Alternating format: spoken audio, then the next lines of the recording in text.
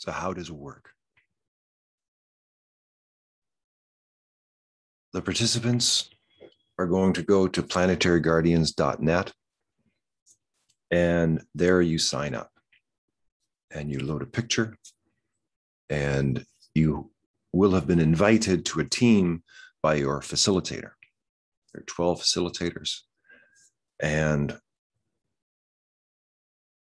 you are now brought into a scheduled time for when you're going to have your first chat stream. And in the chat stream, you're going to have an objective.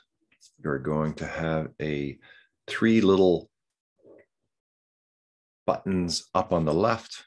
Hopefully, we'll edit this in right now.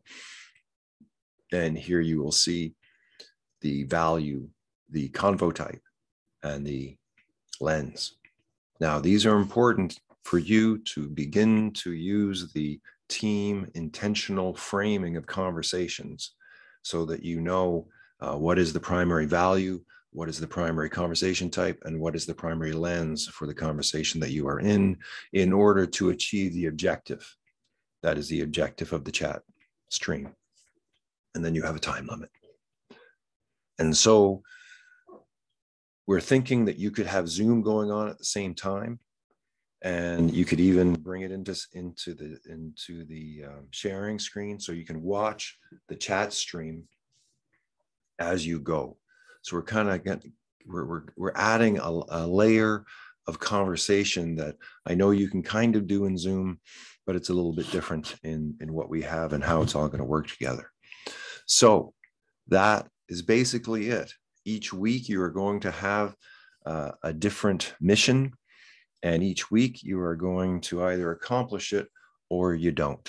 And if you don't accomplish it, well, I think you have to accomplish it first and then you got to go on. I'm not so sure how that's going to work in terms of timing. But as this is just a first test, I'm sure there's going to be a whole bunch of things that don't go right. These things happen, you know and we're here to learn. We're here to uh, to give feedback and to find out what works and what doesn't work. And so uh, I'm sure you can give all that feedback to Olivier because I'm sure he likes it so much. And um, anyway, that's it for now.